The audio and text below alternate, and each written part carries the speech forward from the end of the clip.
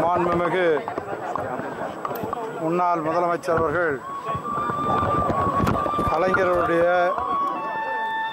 நூற்றாண்டு விழாவை முன்னிட்டு கிழக்கு தொகுதியில்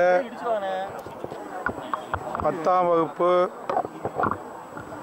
பதினொன்றாம் வகுப்பு பன்னிரெண்டாம் வகுப்பு மூன்று வகுப்புகளிலும் அரசு பள்ளிகள் அரசு உதவி பெறக்கூடிய பள்ளிகள் ஆதி திராவிடர் பள்ளிகள்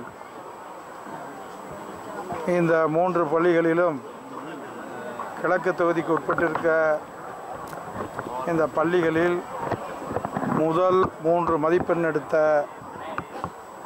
அந்த மாணவ செல்வங்களுக்கு மிதிவண்டி வழங்கக்கூடிய நிகழ்வு இன்றைக்கு நம்முடைய கிழக்கு தொகுதி ஒத்தக்கடைக்கு அருகாக உள்ள மாடர்ன் ஸ்கூலில் வழங்கப்பட்டது என்பதை தெரிவித்துக் கொள்கிறேன்.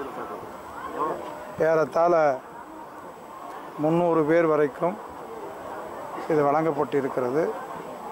இது கிராமப்புறங்களில் இருக்கக்கூடிய மாணவ செல்வங்கள் அருகாமையில் இருக்கக்கூடியவர்கள் பள்ளிக்கு வருவதற்கு வசதியாகவும் அவர் தேவைகளுக்கு பயன்படுத்துவதற்காக இந்த மிதிவண்டியை இன்றைக்கு கலைஞருடைய நூற்றாண்டு விழாவை முன்னிட்டு இங்கே வழங்கியிருக்கிறோம். சார் ஒரு தமிழர் அடுத்து பிரதமராகவும் அமித்ஷா சொல்லியிருக்காரு. அது முதல்வர் ஸ்டாலின் நினைக்கிறீங்க?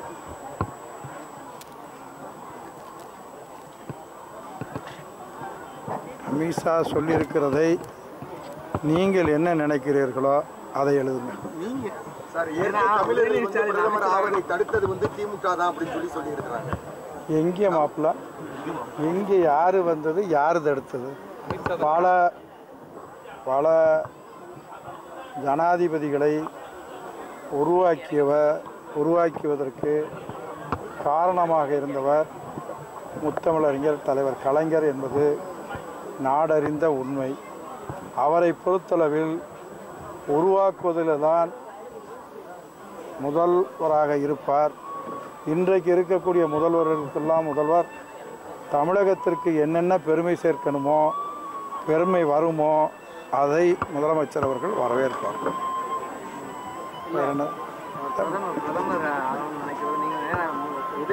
உடனுக்குடன் செய்திகளை அறிந்து கொள்ள ஐஎஃப் தமிழ் பெல் ஐக்கனை கிளிக் செய்யுங்கள்.